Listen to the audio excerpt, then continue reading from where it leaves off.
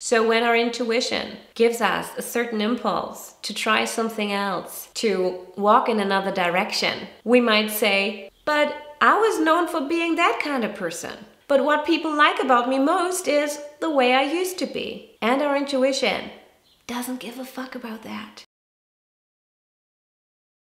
Hi there, I'm Anne-Katrin Elmers and I'm occasionally awake. I'm here to help you inspire your awakenings, heal yourself, and reawaken your life. Welcome and welcome back to my channel. In today's video, I'm gonna talk about why your intuition doesn't give a fuck. Your intuition and you just don't have the same priorities, we could say. And also stay tuned to learn why that is actually a good thing. Your intuition could not care less about what other people think.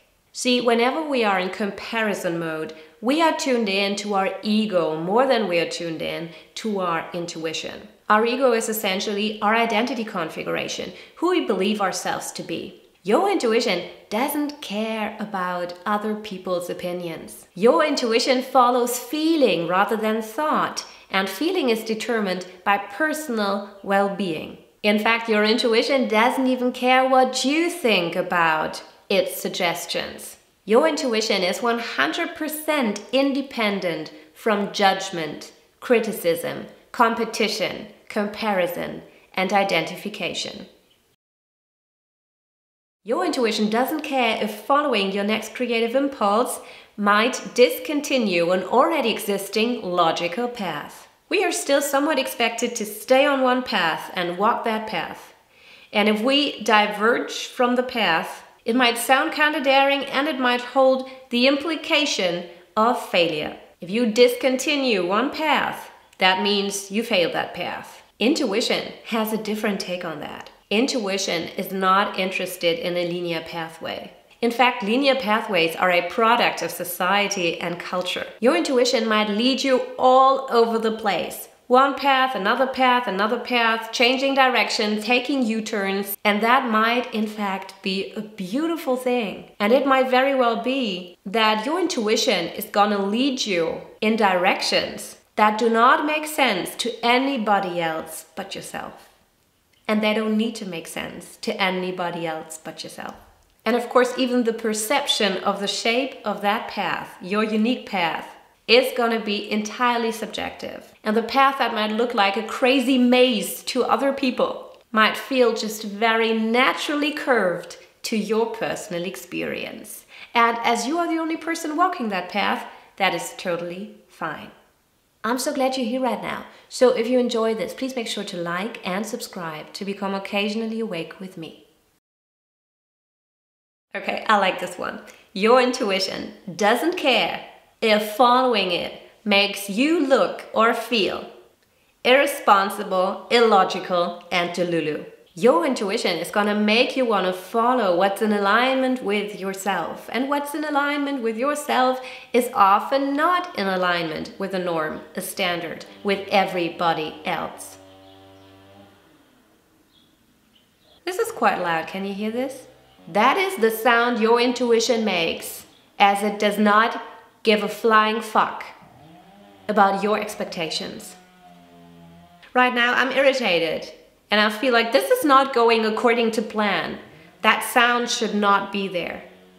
And this is exactly what our ego does, hearing our intuition speak or hearing, seeing our intuition prompt a certain creative impulse that is outside of the realm of the actions that we feel comfortable and habitualize taking. I want to encourage you whenever you feel like your intuition is talking to you in a way that following it would mean looking totally delulu. That's quite the good sign that that is absolutely what you are encouraged to do. Your intuition doesn't care how it looks on your CV. Your intuition doesn't care if it's career compatible. Sometimes your ego is to lead you in a direction that does not make any logical sense from what you can see. And it's so important to always remember that what you can see from here is a very subjective and limited perspective.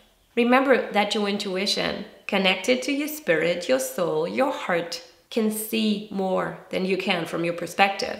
And this might be true for your career and your CV, but also for every other context.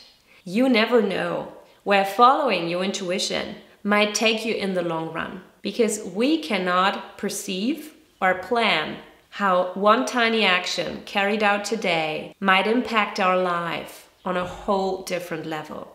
Your intuition doesn't plan long term because long term planning is the ego's job, the ego's perspective. That is also the 3D perspective of logistics, of culture, of society, of the matrix. Your intuition doesn't care if it conforms to the rules of society or to cultural conventions. Your intuition is not connected to 3D concepts. It follows what feels good in the moment, what is in highest alignment with yourself in the moment, and it's going to prompt creative impulses for you to receive accordingly. See, I am aware of the fact that many of the things I list here are somehow similar and intertwined. But it still felt important for me to mention every single one of these points because every single one of these points often tends to be one reason that makes us doubt our intuition or that leads us to the question is it safe to follow my intuition? Should I be following my intuition on this one? We might feel the clarity and the peace and the bliss and the beautiful, subtle feeling from the creative impulse, from our intuition. And then we might come to the conclusion but doesn't this go against the societal norms, make other people judge me, make other people think I'm delulu. But isn't this irresponsible? But won't it hurt my career? Your intuition doesn't care if it might cost you your reputation. See, our ego values consistency above all else. And it tends to reproduce the same old story of who you are over decades. So, when our intuition gives us a certain impulse to try something else, to walk in another direction, we might say, But I was known for being that kind of person. But what people like about me most is the way I used to be. I can't contradict that. And our intuition doesn't give a fuck about that. Intuition is all about reinvention, creation, and recreation of self. And our intuition might encourage us to try something new that maybe some people are gonna dislike, that is maybe gonna influence how we are perceived by others, and that is maybe gonna discontinue others' perceptions of us and change that perception, sometimes in our favor and sometimes not in our favor.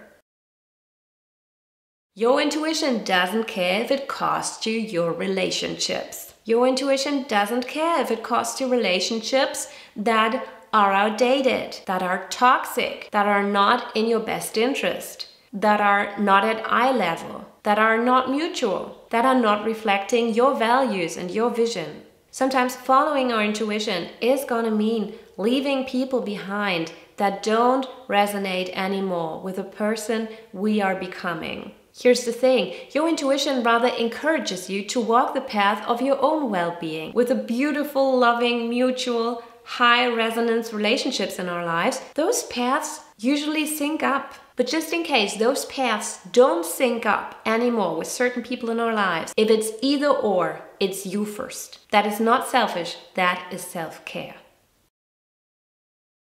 Your intuition doesn't care about your finances. It might prompt you to make a certain expense that might look illogical to others or possibly even to you. See, I'm obviously not talking about making irresponsible financial decisions and stretching your credit card because of the latest advertisement. Anyway, intuition usually cares about experiences a lot more than about shiny objects. I'm talking about the flyer you felt called to pick up from the floor and you just know you gotta go there. Go to that seminar or workshop go to that meeting or go to that concert. If the impulse makes your mind wonder, well, are you sure? Okay, whatever. That's a good indication that it's your intuition talking to you.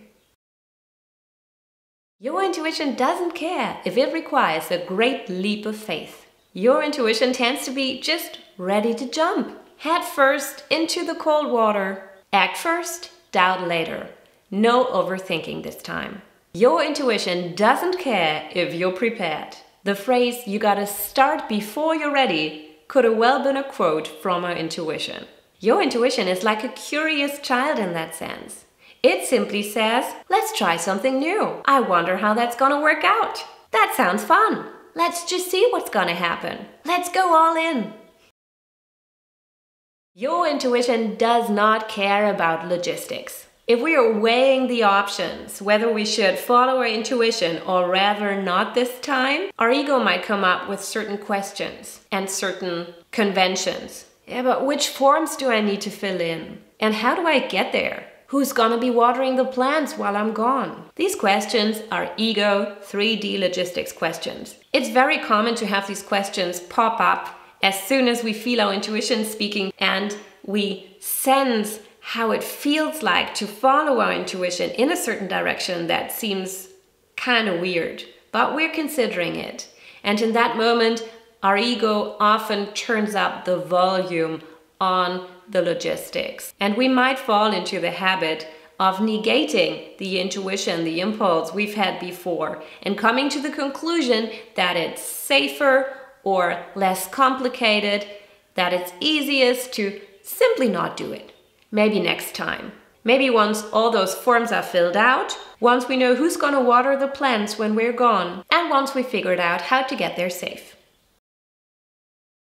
Now that you are aware of all the things your intuition is giving zero fucks about, let's look at why that is actually a good thing. And that has to do with your comfort zone.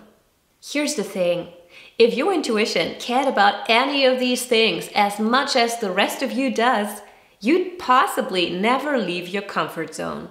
Expanding our comfort zone requires us to grow beyond our old version of self. And that can be scary. And the fastest and simplest way to gather the courage to expand that comfort zone despite the fear we might feel, is to lean into the feeling our intuition causes us to feel, which usually is the feeling of clarity and bliss and peace and the innate knowing that it's going to be safe to follow our intuition. The voice of our heart is never going to lead us astray.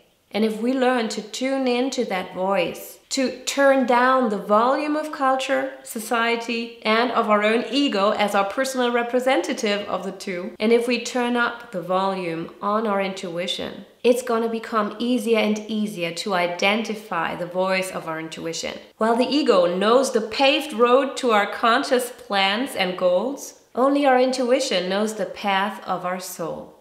And if we want to grow beyond ourselves, in a way that is meaningful and in alignment with our highest purpose, we can rely on our intuition to lead the way, to show us a direction that goes beyond what we are capable of seeing with our limited 3D egoic vision.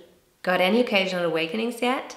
Now I'd like to hear from you, so let me know in the comments below which things you had to not give a fuck about the last time you followed your intuition. Thanks for watching. If you enjoyed this, please like and subscribe. This video is related to the awakening to the conscious self. If you want more insights on the four types of awakenings and how to experience them in your life occasionally, visit me at occasionallyawake.com to inspire your awakenings. Bye.